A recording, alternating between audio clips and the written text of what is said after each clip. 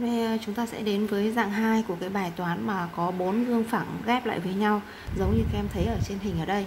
Đề bài này thường đặt ra là có bốn gương phẳng G1, G2, G3, G4 quay mặt sáng vào nhau tạo thành bốn mặt bên của một hình hộp chữ nhật.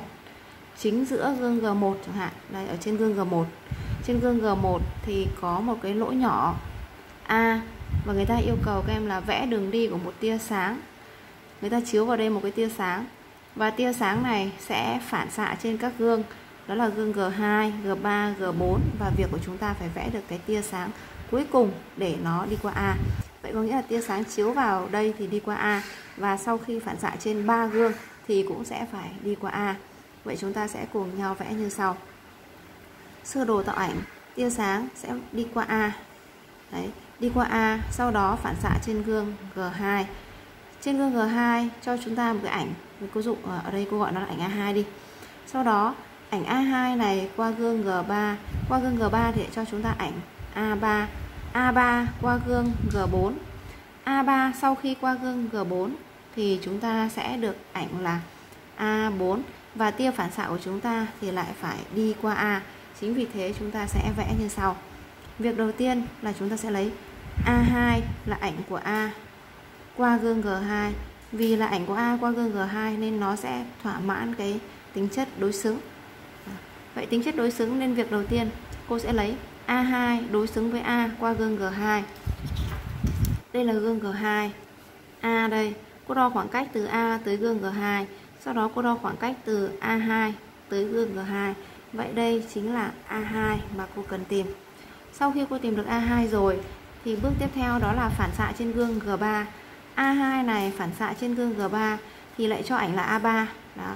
Vậy A3 và A2 này nó sẽ phải có tính chất là đối xứng nhau qua gương G3. Đây là gương G3. Vậy cô gióng tưởng tượng gương G3 ra, nó sẽ dài xuống dưới đây. Và A2 thì phải có tính chất đối xứng qua gương G3. Vậy cô sẽ có là khoảng cách từ A2 tới gương G3 thì sẽ phải bằng khoảng cách từ A3 tới gương G3. Đây chính là A3 và hai cái khoảng cách này của cô là nó phải bằng nhau. Chỗ này nó phải vuông góc thì nó mới thỏa mãn cái tính chất đối xứng. Vậy cô xác định được A3 rồi thì việc tiếp theo cô cần đi xác định A4 khoảng cách từ A3 đến gương G4 thì phải bằng khoảng cách từ A4 đến gương G4 và hai cái khoảng cách này nó phải bằng nhau. Vậy thì cô sẽ tìm xem gương G4 đâu? À đây là gương G4 à, phương kéo dài của gương G4 đây chính là phương kéo dài của gương G4 vậy từ A3 cô lấy đối xứng. Cô lấy đối xứng gióng sang bên đây. Cô hạ vuông góc cô vẽ bằng nét đứt thôi.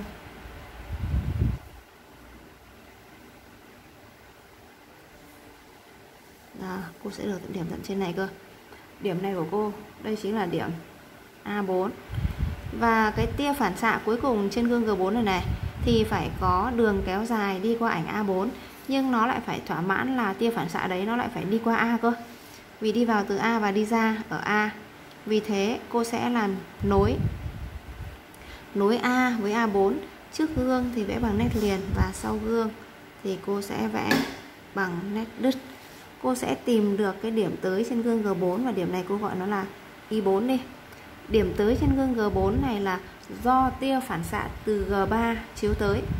Mà tia phản xạ từ G3 chiếu tới thì nó lại phải có đặc điểm là đi qua ảnh A3 thế nên cô sẽ nối Y4 với A3 trước gương thì vẽ bằng nét liền và sau gương thì sẽ vẽ bằng nét đứt.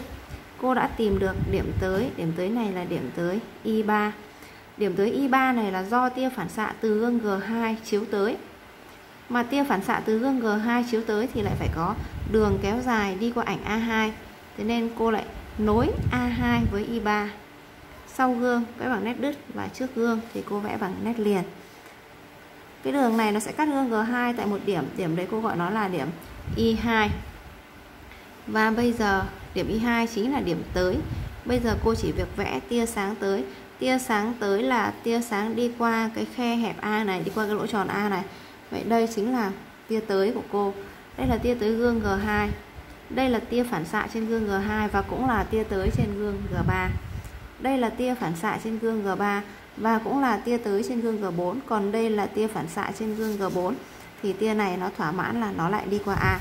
Vậy thì với cái cách mà cô vẽ ở trên đây, thì tia sáng đi vào A sau khi phản xạ trên ba gương thì lại tiếp tục đi ra theo đúng vị trí A. Và cách vẽ thì chúng ta vẽ thế nào thì chúng ta nói thế đấy. Nếu người ta không yêu cầu chúng ta trình bày cách vẽ thì các em chỉ cần vẽ giống như cô vừa hướng dẫn. Nhưng nếu như người ta yêu cầu cách vẽ, thì các em cứ trình bày ra. Bước 1 của chúng ta là các em làm gì? Các em lấy A2 là ảnh của A qua gương G1 vậy mình sẽ nói là lấy A2 đối xứng đối xứng với A qua gương à, ở đây là gương của chúng ta là gương G2 vậy lấy A2 đối xứng với A qua gương G2 được chưa? Sau đó chúng ta sẽ làm gì? Lấy A3 đối xứng đấy lấy A3 đối xứng với A2 qua gương G3 tương tự như vậy lấy A4 đối xứng với A3 qua gương G4 và sau khi lấy được điểm A4 rồi thì chúng ta nối A4 với A. Vậy thì các em cũng ghi ra như vậy. Nối A4 với A. Nối A4 với A, cắt gương G4 tại đâu đây? Cắt gương G4 tại Y4 sau đó, mình lại nối Y4 với A3 vậy thì chúng ta sẽ ghi là nối nối Y4 với A3 Y4 với A3 thì lại cắt gương G3 tại Y3 nối Y3 với A2 nối Y3 với A2 và lúc này Y3 với A2 thì lại cắt gương G2 tại Y2 à, và việc cuối cùng nữa là chúng ta chỉ việc là nối A với Y2 sau đó vẽ vẽ đường vẽ chiều truyền. Chiều truyền của ánh sáng. Vẽ chiều truyền của ánh sáng như hình. Đấy, là chúng ta đã hoàn thành xong cái trình bày cái cách vẽ của chúng ta. Rồi cảm ơn các em đã theo dõi video của cô. Xin chào và hẹn gặp lại.